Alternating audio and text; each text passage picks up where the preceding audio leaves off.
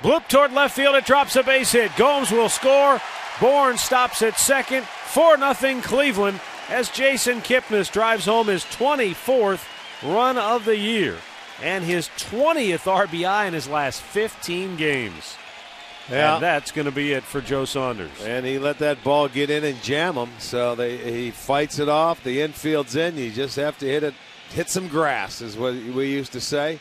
Find some grass out there, and he certainly does. So he gets a base hit. He'll chase Saunders from the ball game. On